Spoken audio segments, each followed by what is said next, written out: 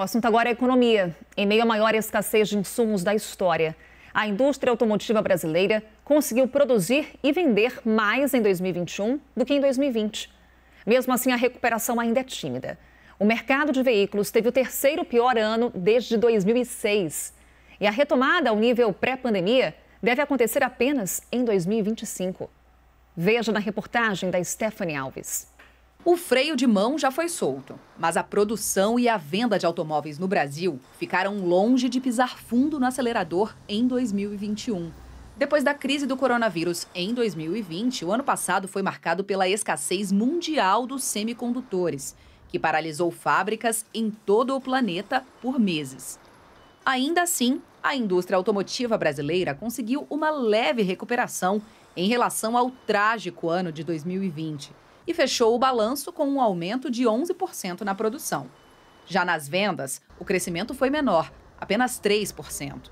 2021 foi o terceiro pior ano desde 2006, igualou o desempenho de 2016, quando o país vivia outra crise.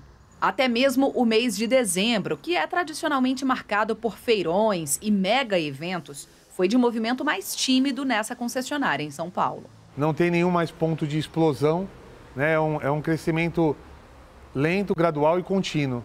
A demanda por carros zero quilômetro fez com que o prazo de entrega chegasse a três meses.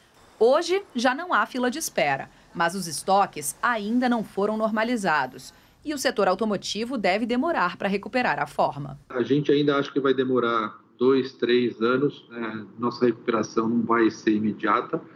É, nós estamos prevendo para esse ano que a produção vai atingir 2 milhões 460, significa um crescimento de 9,4 em relação a 2021. Para o presidente da Anfávia, o problema com o fornecimento dos chips vem regredindo aos poucos. A capacidade de produção de semicondutores, que está muito concentrada na Ásia, não vai atender toda a demanda né, do setor automotivo. Lembrando que o semicondutor é utilizado para outros setores, então isso tende a estabilizar a partir de 23 no cenário nacional surge uma dificuldade.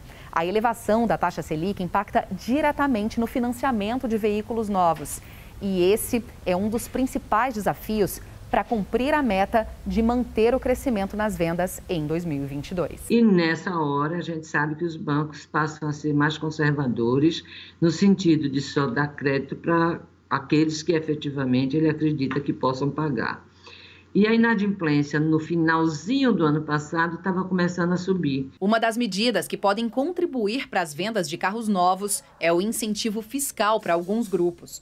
No dia 31 de dezembro, o presidente Jair Bolsonaro sancionou a lei que prorroga a isenção do IPI, o Imposto sobre Produtos Industrializados, para pessoas com deficiência e taxistas. Num momento como esse, eu acho que é bem razoável, tá certo? Um momento que você está tendo né, um, uma demanda mais reprimida e pode afetar de uma maneira ou de outra ao longo do ano o pessoal de táxi.